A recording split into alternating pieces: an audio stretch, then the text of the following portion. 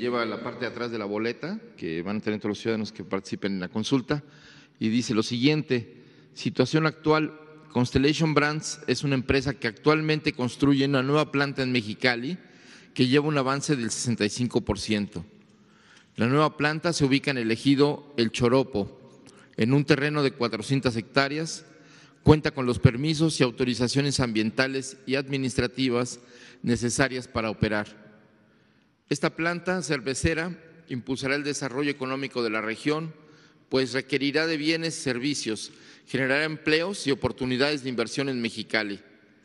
La Autoridad Ambiental de Baja California autorizó a la empresa un límite máximo de 5.8 millones de metros cúbicos anuales de agua, que representan tan solo el 0.2% del volumen total de agua en la región.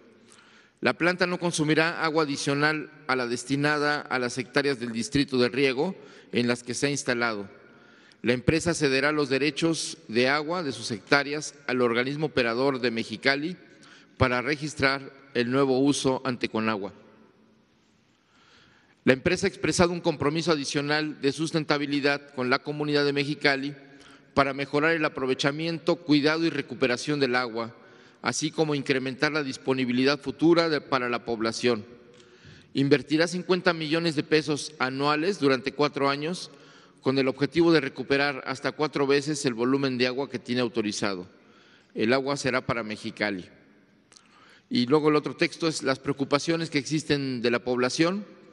Un motivo de preocupación de la comunidad es que la operación de la planta cervecera signifique un excesivo consumo de agua que pudiera generar escasez en la ciudad y ponga en riesgo el derecho humano al agua y el suministro a los hogares en Mexicali.